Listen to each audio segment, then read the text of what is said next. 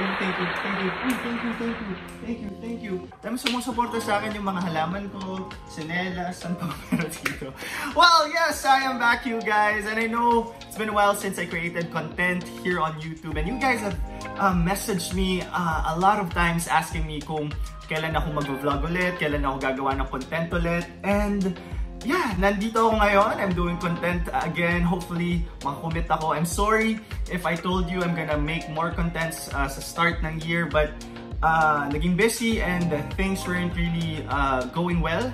I just felt uh, not really motivated. But here I am now, feeling so motivated and inspired despite ang mga nangyayaring hindi kagandahan sa paligid natin with our political climate, with the pandemic we're facing right now. It's just so hard to really pick up yourself and try to make content. But um, napaisip din ako na this is the only platform that is safest for us right now to talk about things, to uh, to communicate, to converse. Kasi syempre kailangan natin ng social distancing. Ito yung pinaka mainam na gawin dahil nandiyan ka, nandun ako, hindi ko alam kung gaano kalayo to pag pinapanood mo. But, uh, right, uh, let's continue to talk, let's continue to discuss. And kaya naman naisip ko itong uh, daily vlogs ko when I ask you on my Instagram if you would want me to create daily vlogs. Most of you, if not all of you, well, meron 3% na nagsabing no. Ewan ko pinagtitipan niyo ako pero yeah, I'm still gonna do it anyways. Uh, so naisip kong gawin itong Ask Sky which will be our daily vlogs. So ano ba ang Ask Sky? Well, here I'll try to answer in the best of my ability yung mga ipa mga ipadadala yung mga katanungan sa akin. Pero syempre, sana ipadala yung mga katanungan yung feel nyo alam ko na masagutin. Uh, huwag naman yung mga mga mahirap like hindi po ako doktor, hindi po ako, hindi ako ma maalam sa nucleolus, nuclear membrane, yung mga ganyan. Uh, sa iba po natin itanong, well, let's talk about ano nangyayari sa paligid natin, sa mga buhay natin. Let's talk about anything and everything under the sky as long as I'll try to answer truthfully. I'll try to give you my insights and if we're not able to answer these questions, hopefully mas napag-isipan natin, mas napagnilayan natin, mas ma, mas makakapag-isip tayo uh, sa mga bagay-bagay. Sana mas magkaroon tayo ng critical thinking.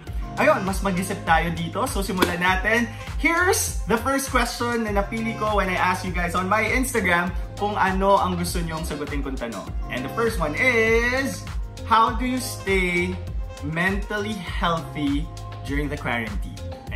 To answer the question, it's just so hard to be always positive. It's just so hard to keep yourself mentally stable and mentally healthy kasi talagang magulo yung nangyayari kasi mapapaisip tayo kung, kung magiging mabuti ba yung bukas kung uh, dadami ba yung cases bukas so yung ginagalawan natin is talagang nagkukos sa ating lahat, sa akin, sa'yo ng uh, pagkabagabag, ng pamumblema, ng pag-iisip So I think it's completely normal for most of us, if not all of us, to feel anxious, to feel scared sa nangyayari sa lipunan natin, sa nangyayari sa pandemic. So we feel our, our security or safety, uh, we feel threatened for these things. So una siguro we have to acknowledge that it's completely normal na makaramdam tayo ng takot.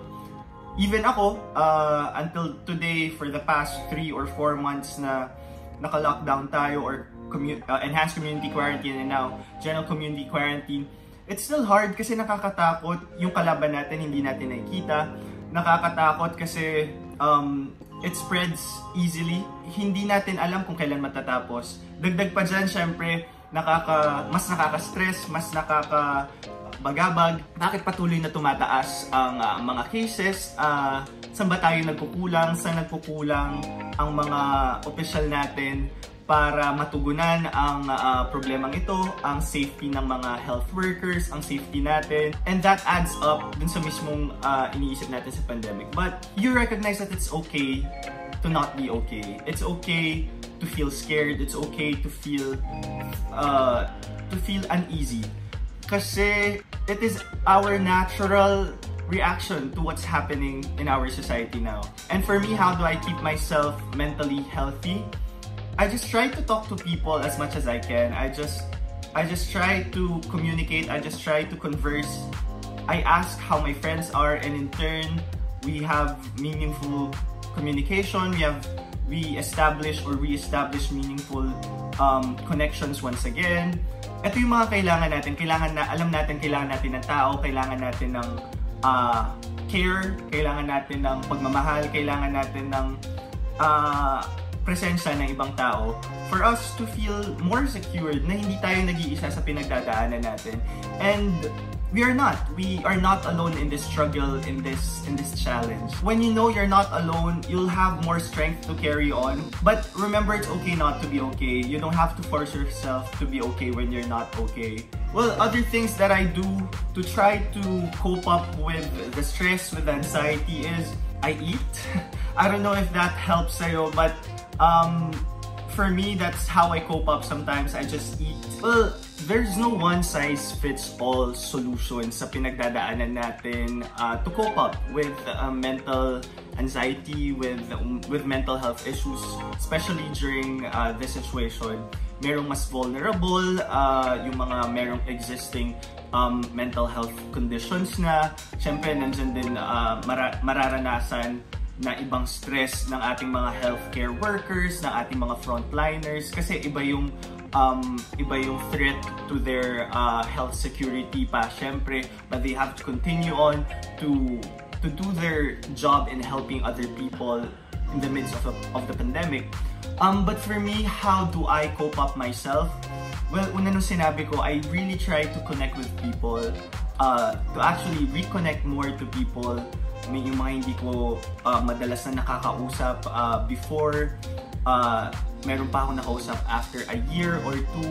And this really helps kasi uh, nalalaman ko na uh, hindi ako mag-isa sa pinagdadaanan ko. Nalalaman ko na they're also experiencing what I'm experiencing and acknowledging etong mga nararamdaman ko, me being able to articulate and communicate um, my problems, my anxieties, what I think of, really helps for me to know where to start, kung paano ko mapupunan yung um, mga pangangailangan na to, kung saan ako nahihirapan. Tapos, um, talking to people, uh, knowing that they also listen to me, I listen to them, it just sort of lifts the burden. Uh, mas napagagaan yung pinagdadaanan. Kasi alam ko di ako mag-isa. Um, But there are really days that I really shut off na nakakulong lang ako. Even I don't wanna go to social media. Uh, I don't wanna do anything. I'm just inside. Mahirap, mahirap. But sometimes I just really feel like I wanna shut off.